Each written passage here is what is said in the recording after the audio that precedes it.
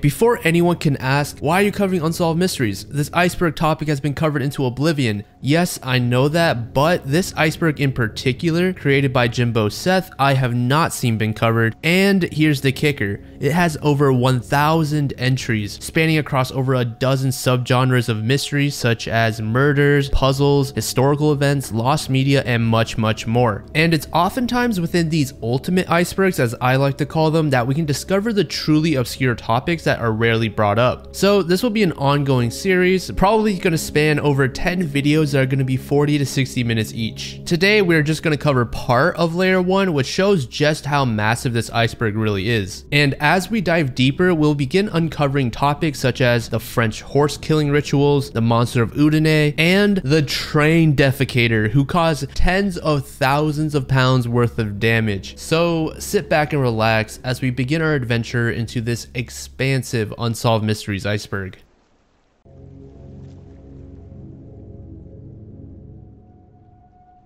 Albert Johnson, aka the Mad Trapper of Rat River, was the target of a massive manhunt in Canada, which resulted in a shootout where Johnson would be fatally wounded. Now, it should be noted that Albert Johnson is simply a pseudonym, as the true identity still remains a mystery, hence why he's on the iceberg. Albert Johnson's entanglement with the police began when he was reported by native trappers that he was tampering with their traps. Albert would trigger them, then either break them or hang them up on the trees. The RCMP, aka the Royal Canadian Mounted Police, would trek about 60 miles into the snowy wilderness along the banks of the Rat River to confront Albert in his cabin for questioning. However, they would make this journey multiple times. The first time they approached Johnson's hut, he would simply refuse to talk to them altogether. When one of the constables, Alfred King, looked through the cabin window, Johnson would also place a bag across it. The two constables that visited Albert that day would eventually leave in order to return with a search warrant. About five days later, they would get their warrant and bring along two extra men. Again, Johnson refused to speak with anyone, forcing King to break down the cabin door. But as soon as he approached, Johnson would shoot King straight through the still closed door. Promptly after, a brief firefight would break out, followed by the retreat of the team. Luckily, King did get medical attention in time and he would eventually recover. Now, keep in mind, this all stemmed from a simple trapping violation. The two men that confronted Johnson at first were simply going to find Johnson and then ask Johnson to purchase a trapping license and then be on their way. The RCMP would then assemble a pretty massive group for their third visit to Albert Johnson. The group would consist of nine men, numerous dogs, and then dynamite. The police would proceed to throw a stick of dynamite onto the roof of Johnson's cabin, which caused it to collapse. Following this, the men attempted to blitz Johnson, but he would open fire from a 5 foot dugout underneath his now ruined hut. This would lead to a 15 hour standoff where the group would eventually give up yet again and just retreat. The RCMP would return to Johnson's hut about a week later, but this time they would find that he is no longer there. Keep in mind this was taking place in January, so winter is now in full swing. The police would have a very tough time in locating Johnson, but eventually they would come across his camp where Johnson would shoot one of the police straight through his heart. I wish I could say that they captured Johnson here, but yet again, he escaped. But in February, with the assistance of some air support, they would locate Johnson's trail and chase him down, yelling for him to surrender. Of course, Johnson refused and he threw himself into the snow and began opening fire. Eventually, the group would circle around Johnson and capture him, albeit he was fatally struck by a bullet which severed his spine, so the police were not able to bring him in for questioning. When the police dug through his possessions, all they found was $2,000 in Canadian currency, five small pearls, and just a little bit of gold. Nothing that hinted at the true identity of Albert Johnson at all. And although in modern times and throughout the years there have been many theories and DNA tests to find out who Johnson really was, we still have no conclusive answer. And to this day, his identity still remains a mystery. This entry refers to a very strange mystery website and I believe it's pronounced as Etnamu. The website has been around for a while now, even having its own dedicated subreddit, although it seems that this community has been inactive for the last few years. But when you first visit the site, you are greeted with a very eerie ambiance, and if you click around, eventually you'll come across some hidden links that will take you further into the site, and it becomes much more unsettling. These hidden links can be almost anything. Sometimes it's tucked away into a small corner of an image, and other times it's a random letter in a sea of words. It's estimated that there are over 1,000 pages and links, all leading to a brand new page of cryptic imagery. However, the website doesn't just stop at cryptic text and pictures. There are a ton of various math problems, some of which can be very convoluted. But the weird thing about these problems is they all seem to revolve around the number 9, and if you delve deep enough into the website, you will eventually come across a forum that is still active to this day. Some internet sleuths have said that the active forum members can come across as a bit condescending when it comes to new visitors finding the forums. Could this hint at the website being some sort of secret cult? Or is that just an over romanticized shot in the dark? The owner of the domain is a man named David Dennison, who is an artist based out of the UK, and by observing some of his older works, we can see that he likes to dance around the topic of surrealism. So with this newfound knowledge of the domain owner being an artist, could that mean that this website is simply an art project? Possibly. As I said earlier, the website is still active and growing, and just to give you an idea of what sort of topics are discussed on these forums, feel free to pause the video on this screenshot. So to conclude this entry, I'll leave you all with a couple theories that I came across.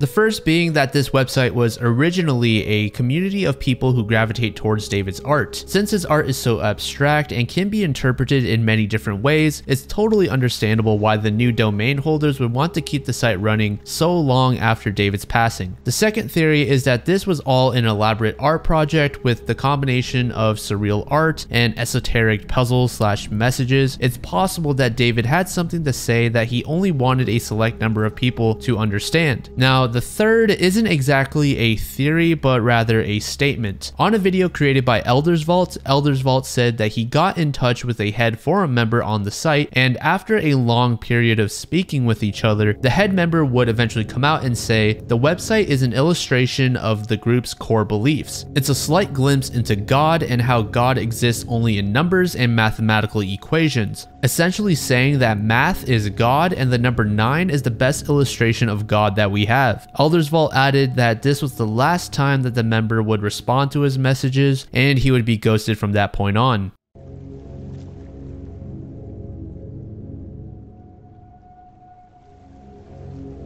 Would you, could you on a train refers to a train crash in the Hoboken train station on September 29, 2016 in New Jersey. There were over 100 injuries as well as one casualty. Amongst the injured was the train operator known as Thomas Gallagher. Thomas would be visited by various entities including the FRA as well as the NTSB and they discovered Thomas was not able to recall anything that happened during or shortly before the accident. Thomas reported that he did not notice anything unusual in the moments before the accident accident, and he went on to say that he felt well rested that day. The NTSB would release the findings from the black boxes within the wreckage later in October, and they found that 38 seconds before the crash, Thomas would accelerate from 8 miles per hour to 21, which was twice the speed limit. It was also found that Thomas forgot to use the emergency brake and attempted to use it within less than a second from impact. Additionally, it was reported that the automatic emergency brake system was faulty, so it did not properly engage. In November of the same year, Thomas Gallagher's attorney would say that Thomas was suffering from undiagnosed sleep apnea, despite Thomas reporting to officials that he felt well rested. It should also be noted that the New Jersey Transit did have a sleep apnea screening program, but despite that, Thomas was cleared to work. And something else that I should mention about the exam is that it did take place in July, two months before the accident. So it's definitely possible that Thomas developed the sleep apnea later on. So now let's dive into the mystery part, and it's a bit of a conspiracy. So two days before the actual crash, there would be this very odd warning on TV that went live on various televisions within New York, which is normally only about a 15 to 30 minute train ride from New Jersey. The warning notifies us of hazardous materials and gives us the date of September 29th, which was the same day of the accident. The warning would end with the question, would you, could you on a train, which is definitely a very odd warning.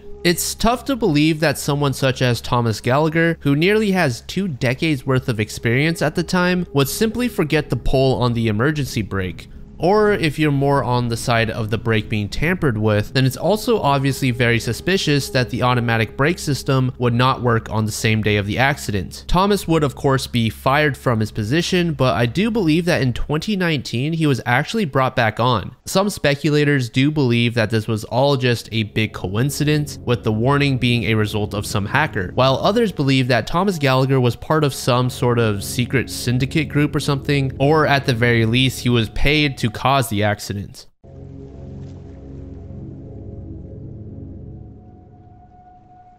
Oumuamua was first discovered in October of 2017 by Canadian physicist and astronomer Robert Weryk by using the Pan-STARRS telescope in Hawaii. And apologies if I absolutely butchered Robert's last name, but what exactly is Oumuamua? Well, we actually are not sure entirely, but it is described as a small object by space standards estimated to be no more than about 2,000 feet by 400 feet. What makes Oumuamua special though is it's a one-of-a-kind celestial body that has supposedly reached our solar system from another solar system. It's believed to just be some sort of exotic comet or asteroid, but some astronomers go as far as to say that it could be an abandoned alien spacecraft. I want to make it clear that the pictures that you guys are seeing are not actual photos that were taken of Oumuamua, they are simply illustrations and astronomers have no idea what it looks like up close, only that it seems to have a reddish surface. When Oumuamua was first discovered back in 2017, the sun's gravity was able to slow it down, but it was not strong enough to stop it entirely. As of January of this year, Oumuamua is no longer in range of earthly telescopes. However, a team of scientists have said they want to build a spacecraft to pursue it. They have named this effort Project Lyra, and it is estimated to reach Oumuamua as early as 2047. And just for reference, it was estimated that Oumuamua was traveling at about 59,000 miles per per hour.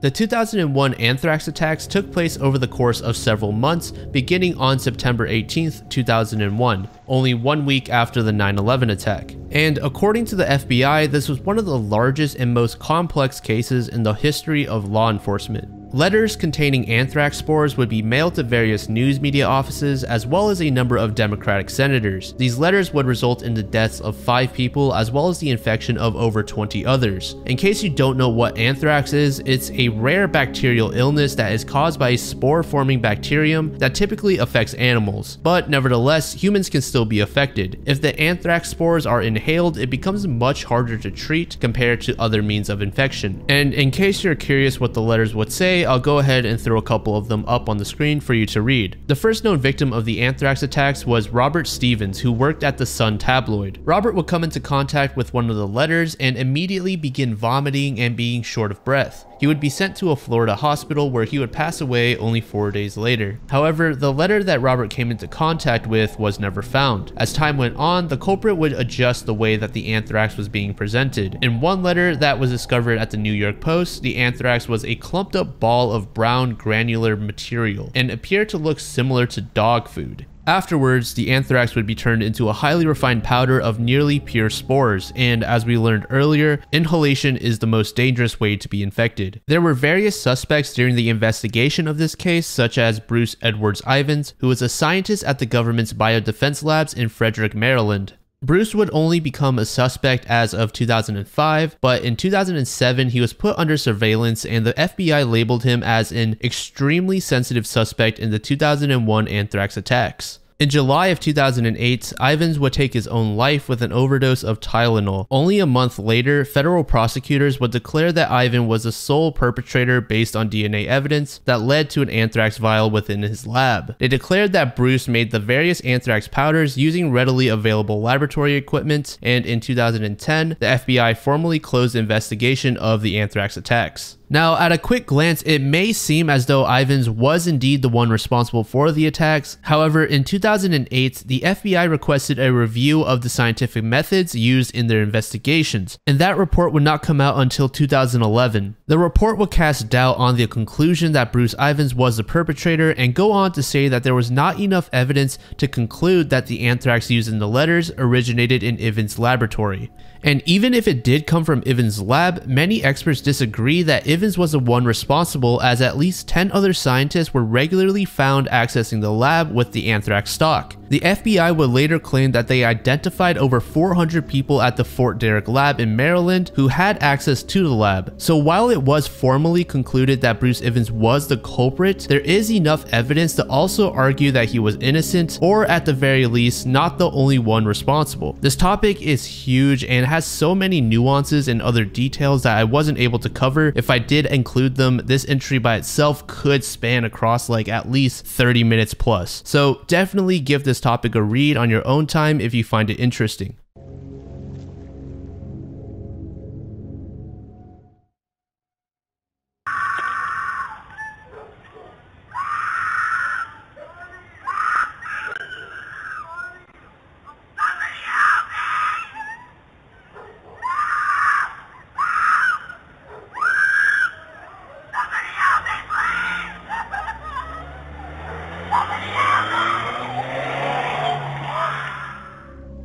Back around 2019, this clip shot on a doorbell camera of a woman screaming went viral. This incident was caught in the southwest area of Los Angeles around 11:30 p.m. It isn't until around the 20 second mark where we can finally see a vehicle where a suspected male would force an African American female into the front passenger seat. One witness reported they saw the suspect pulling the unidentified female by her dark braided hair as she was screaming, as well as seeing plastic wrap covering the front passenger side window. The vehicle has been been identified as a white Toyota Matrix, but it is unclear which year this car was made. Police have come out and said that they are not sure if this was a kidnapping or a domestic incident, but nothing has indicated that it's a hoax. Some people have proposed that this could have all been some sort of marketing ploy for a movie or something, but that doesn't make very much sense as no one came out to claim that they were responsible, thus making it hard to justify that this was some sort of sick attempt at gaining clout. And apologies that I can't really provide provide anything else for this entry as there really is little information known about this.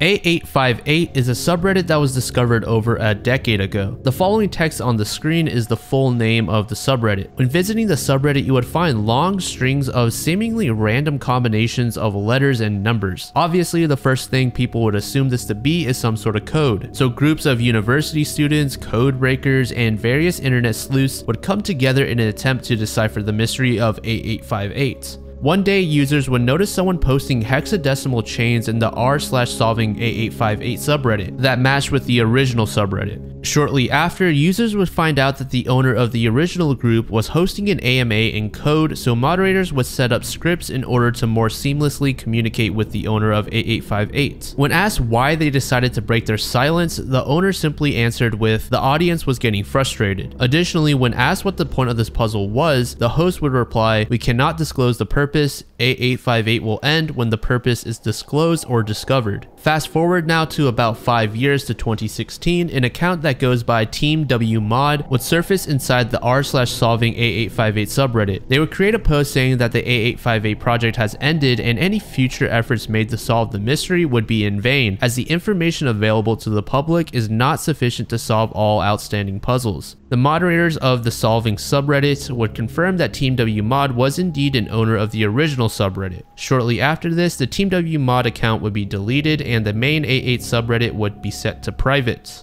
But our story doesn't exactly end here. A couple Reddit users were able to get in touch with one of the people behind A858 and they said they were paid by a separate entity to post various code puzzles using encryption or other methods of text manipulation.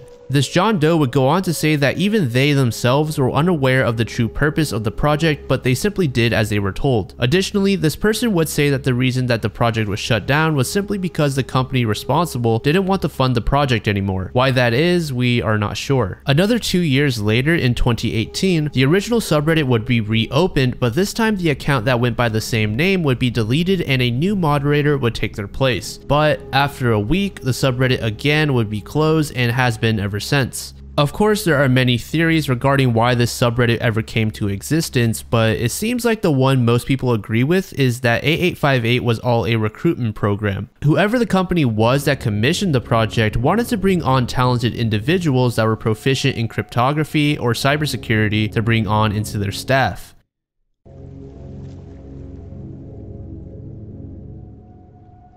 If you guys have not heard of Mr. Cruel before, I'd like to give a content warning as this guy is absolute scum. We're going to be talking about cases involving minors, so that should tell you all that you need to know. If that makes you uncomfortable, I totally understand, so please skip forward to the above timestamp. So if you're still here, Mr. Cruel is the alias given to an Australian child who attacked at least three girls in the 1980s and early 90s. Obviously, Mr. Cruel has never been identified, and all three confirmed cases have not led to any sort of progression when it comes to finding this man. Mr. Cruel would always wear a mask when assaulting his victims, and the only thing that we have to go off of is this police sketch based on what one of the victims remembers seeing. He's described as a highly intelligent and meticulous person, having even gone as far as leaving red herrings to divert the attention of the victims' families and the police. Mr. Cruel is believed to have videotaped and photographed his victims during the attacks, and detectives believe that if he is still alive today, he is likely involved in some sort of underground child ring. And knowing how advanced technology is nowadays, I wouldn't doubt that this monster is still repeating these despicable actions and ruining the lives of minors. The strange thing about Mr. Cruel is that he releases his victims. In one case, he abducted a girl named Sharon Wills and told her that she would be released in about 18 hours. Once that time ran out, he indeed did release her, even going as far as to carefully bathe her so that there are no traces of his DNA. There are theorists who believe that Mr. Cruel could be the Golden State Killer as they both share strikingly similar tactics and routines when it comes to abducting people. Mr. Cruel first began assaulting minors in 1987, which is about a year after the sudden disappearance of the Golden State Killer. However, Australian police would rule out the possibility of them being the same person. While it is unlikely, I really hope that there will come a day where authorities are finally able to capture this monster, assuming he is even still alive. This entry is pretty self-explanatory. Everyone, regardless if you're religious or not, have heard or even given thought to the idea of an afterlife, a plane of existence for once we die. But of course, it's impossible to know what really happens to us once we pass away. In 2008, a large-scale study conducted by the University of Southampton was launched. It involved over 2,000 patients from 15 different hospitals in the UK, the US, and Austria. And of course, take what I'm about to say with a grain of salt. What the university found was that when patients experienced a near-death situation, they were able to retain a perception of awareness where they can somewhat recall their actual death. This is what would be reported by 39% of the patients who survived would say when they went through structured interviews afterwards. Additionally, it should be noted that pretty much all of them couldn't recall explicit events during that time. Honorary researcher Dr. Parnia would go on to say that this suggests more people may have mental activity initially but then lost their memories after recovery, either due to the effects of brain injury or sedative drugs. Among the patients that reported a perception of awareness, 46% would say that they experienced a broad range of recollections in relation to death that were not compatible with the commonly used term of near death experience, while only 2% would exhibit full awareness with explicit recall of seeing and hearing events.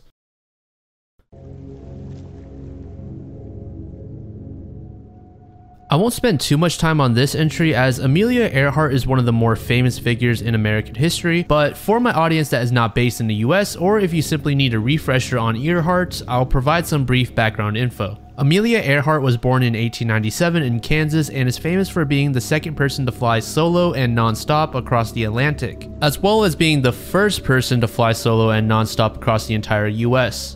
But what makes her story truly perplexing is how she went missing on her journey around the world. In May of 1937, Amelia Earhart, along with her navigator Fred Noonan, would begin a round the world flight which began in California. The aircraft that they would be taking on this journey would be a twin engine Lockheed Electra. But in July of that year, only two months after the journey began, Amelia and Fred would disappear near Howland Island. Rescue parties would be sent out, but of course, they would not be able to find either Fred or Amelia. And around around 2019 to 2021, there were some plane wreckages found underwater, but no one could say with confidence that any of these wrecked planes were Amelia's, as the Electra she piloted was very popular at the time. So in that case, what happened to Amelia and Fred? There are many theories as to what happened to Amelia, one of which is called the crash and sink theory, which suggests that Amelia's aircraft simply ran out of fuel and then crashed into the ocean before being swallowed up by the sea. The duo was aiming to land on Howland Island, but unfortunately the Electra Electra probably ran out of fuel and just wasn't able to make it.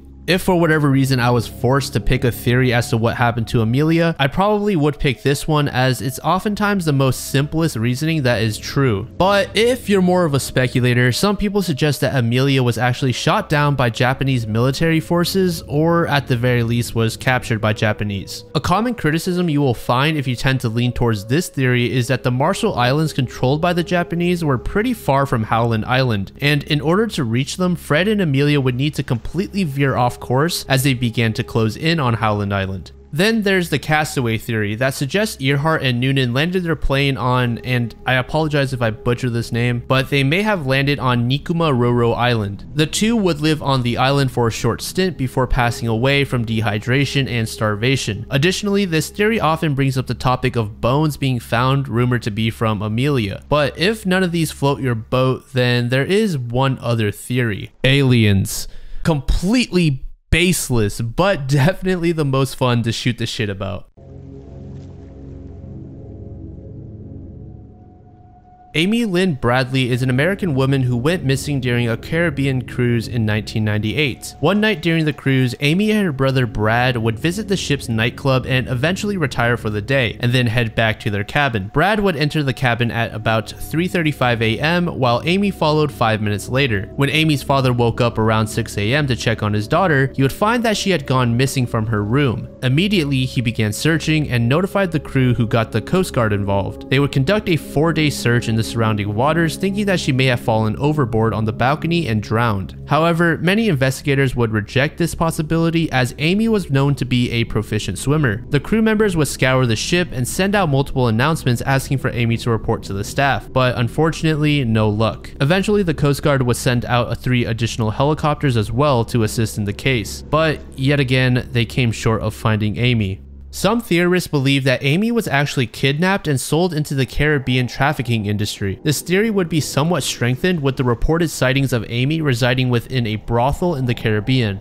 Multiple residents and Navy officers would report having sighted a woman that looked strikingly similar to Amy. This theory goes a bit deeper and suggests that the band slash staff also played a role in her disappearance. Throughout the night, the same waiter would persistently approach Amy's family multiple times, asking for them to pass on a note to Amy, which invited her for a drink with the waiter. Earlier I said that Amy's father went to check on her at 6am, but I did leave out the part that said he also went to check on her at around 5.30am, and at that time she was still sleeping. So whoever took Amy, if she even was abducted, had to have worked in that 30 minute window, and we are aware that the crew has a log of when the cabin doors opened, so it's possible that the crew indeed played a role in her disappearance. Then the final theory is that Amy took her own life by willingly stepping off of the balcony, and as you all likely know, the longer these missing persons cases go on, the more unlikely it is that they actually survived.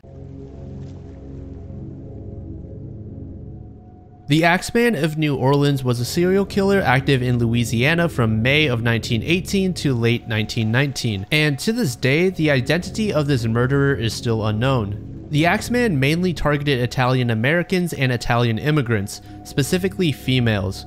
It's hypothesized that the women were the main target of the murderer and he would only kill men when they got in the way of his intended victim.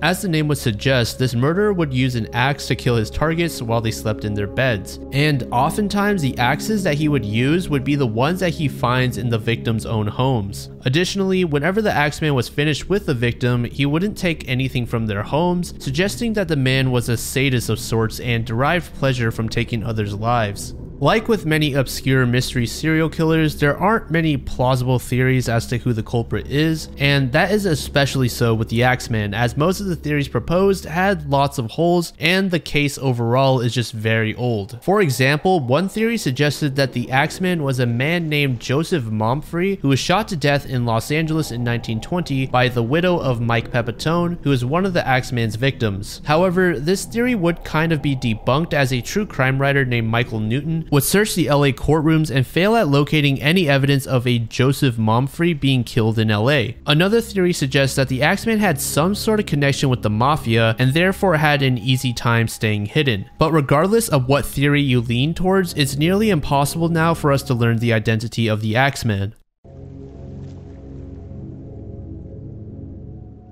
The clown sightings of 2016 was definitely one of the strangest phenomena that I experienced. In 2016, there were reports of people dressed as evil clowns in really odd locations, such as forests, schools, and playgrounds, just to name a few. Moreover, these incidents were not limited to the US. There were numerous reports of these clowns in Canada as well as the UK. However, it was the largest within the US. The clown sighting that started all of this turned out to simply be a marketing stunt for a horror film being shot in Wisconsin, but for whatever reason, others would begin donning clown attire and in some cases they would attack people in nearly every state in the US. Social media would amplify the effects of the clown sightings as more people would begin joining in with the attempt to go viral and get some clout. Now, it's not like dressing up as a clown and walking around in public was a brand new thing. In 2013, three local filmmakers from England would dress up as a creepy clown to drive traffic to their Facebook page. In 2014, Italian YouTuber DM Pranks would begin dressing up as an evil clown to scare civilians, which would earn him hundreds of millions of views. But for whatever reason, 2016 would mark the largest event involving clowns. The earlier mentioned Wisconsin filmmakers would post five pictures of clowns roaming an empty parking lot, which went viral and marked the beginning of hundreds to thousands of additional clown sightings in other states. But due to the chaotic nature of this drawn out event, it was extremely tough to identify and capture those that took this charade too far.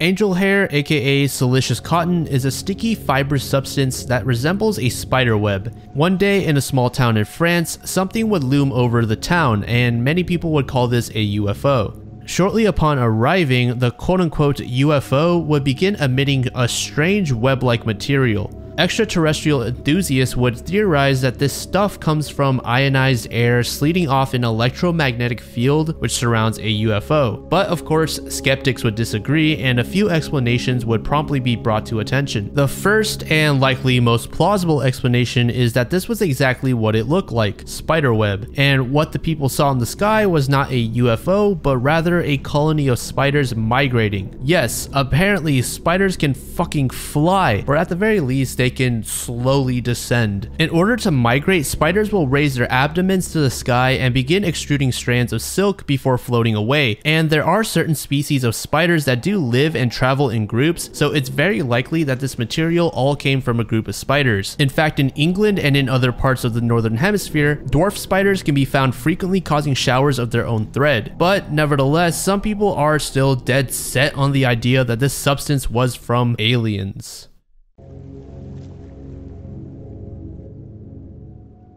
Ball lightning is a rare and unexplained phenomenon described as luminescent spherical objects that vary from pea-size to several meters in diameter. These balls of lightning are typically associated with thunderstorms, but they last considerably longer than the split-second flash of a lightning bolt. After a short amount of time, these balls of lightning would explode and leave behind an odor resembling that of sulfur. Descriptions of ball lightning vary quite drastically, but for the most part, people who have reported sighting it have reported that it moves sporadically, side to side, up and down, and generally unpredictable trajectories. Additionally, some people said that this ball could move objects, while others described it as destructive. Instead of stopping when being met by an object, it would simply burn a hole through it and continue on its path.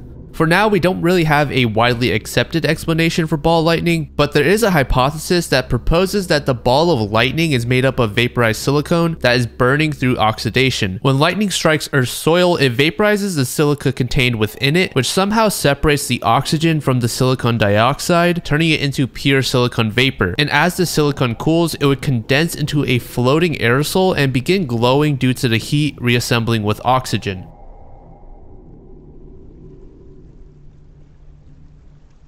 The Baltic Sea anomaly is this structure that can be found in the Baltic Sea. This strange object was first discovered by Peter Lindberg and his Swedish Ocean X diving team in 2011 and has left many onlookers confused as to what exactly caused the formation of this structure. The various details look much too meticulous to have not been made by intelligent life, as they would say, such as the strange stair formations which made Lindberg propose the idea that this was constructed tens of thousands of years ago before the Ice Age. And Lindberg Isn't completely detached from the possibility that this is simply a very strange natural formation, such as a meteor penetrating through an iceberg during the Ice Age. But regardless of what anyone proposes, scientists are completely baffled by it. Some speculators like to lean into the idea that this structure could be part of an Atlantis like civilization. Not necessarily saying that the underwater city of Atlantis is real, but rather proposing that there was once a city here that was claimed by the sea over time. And another more reasonable proposition is that this anomaly is a glacial basin. The divers gave an associate geology professor at Stockholm University samples of the stone they found, and he said that it could be volcanic rock. Volker would add that while it is out of place, it is not unusual to discover hardened lava under the sea in the Baltic region.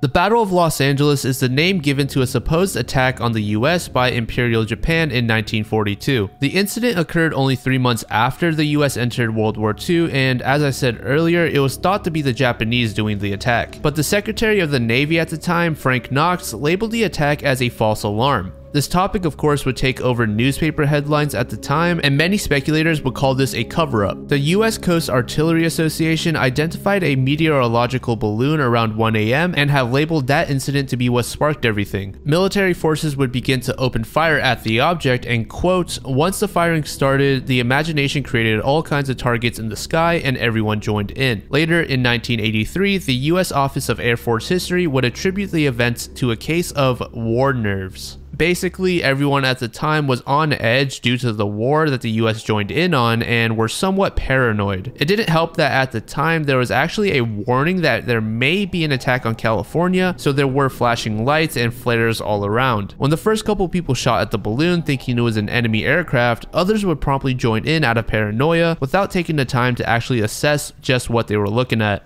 When World War II finally ended, the Japanese government would say that they had not flown any aircraft over Los Angeles during the war, which is what made the US declare that it was a balloon that caused the initial alarm. And as I said at the beginning, many people would call this a cover up and would say that this was actually the US hiding an alien interaction. This image here would be pointed to as having searchlights targeting a UFO, but would later be said to have been heavily retouched before it was published by newspapers. So who knows, was it really aliens and the government was covering it up, or was it actually a paranoid shootout on a balloon? So that's going to mark the end of part one of this series, and we still have like over 100 or so topics before we are even done with layer one, which is just crazy. If you made it through until here, thank you so much for your time. And if you enjoyed the video, leaving a like would really help me out. And if you'd like to get some more content right now while I work on part two, feel free to click on one of the videos on the right. And shout out to my editor who helped me edit a large chunk of this video. I should be able to put these videos out a bit quicker now, now that I actually have real help on my end. So with that being said, I'll talk to you all again very soon.